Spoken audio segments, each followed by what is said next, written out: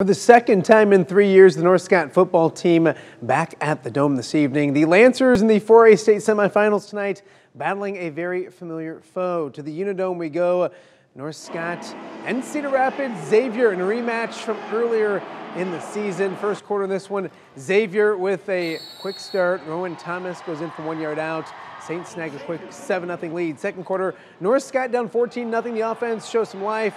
Kyler Girardi calls his own number, picks up the huge gain into enemy territory for a first down. That would lead to this. Liam Reagan with the 30-yard field goal. Lancers on the scoreboard. They cut the lead to 14-3.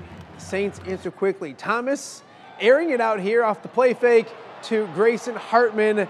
This one goes 91 yards. Xavier extending their lead to 21 to 3. Late second quarter, Xavier looking for more, but the North Scott defense with a big play as they strip the football. A.J. Peterson recovers. Lancers dodge bullet, but they still trail 24-3 at the break. Third quarter, Xavier up big. Lancers get that offense going again. Girardi scrambling, throwing downfield, finding Cole Jennings for a big pickup down to the 11-yard line. Very next play, it's Girardi again continuing to make plays, this time with his feet as he darts for the pylon, getting North Scott's first touchdown of the game. Unfortunately, their only touchdown as well. That cut it to 38-10. That's as close as they would get. The Saints win this one 38-10, ending North Scott's fine season in the state semifinals. Corey Cuffler is live at the Unidome with more. Hey, Cuff.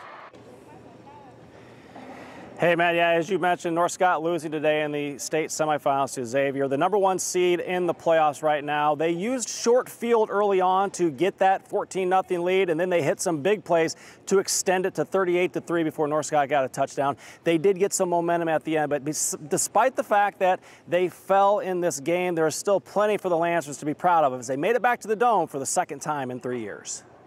Extremely proud of these guys. You know, we just talked about that same thing in the locker room.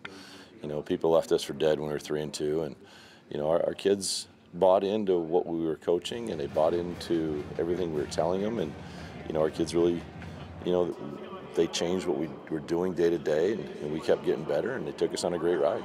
Everyone in that locker room, they're my best friends, and just to be able to go out there every day at practice and play with them, it's special. You know, it just shows how how awesome we all are. Just everyone counted us out. We didn't count ourselves out. We just stuck together. We stuck. We just kept fighting. I'm, super proud of this team. You know, losing two in a row. Obviously, we, we bounced back from that. Had a couple great wins tonight, and it's football. We just, they just came out and beat us tonight. You know, we, we weren't going to go out quitting. You know, that's not how this team wanted to go out or was going to go out. North Scott definitely did fight till the end. Now they do lose some key seniors from this team that got them back to the dome, but they do bring some big pieces back next year, and you can bet Kevin Tippett will have his team ready to play. The Lancers finished the year at 9 and 3 and will add another state trophy to their trophy case. But for now, live from Cedar Falls at the Unidome, Corey Cuffler, WQAD News 8 Sports. Thanks, Cuff, and of course, congratulations on a fine season to North Scott.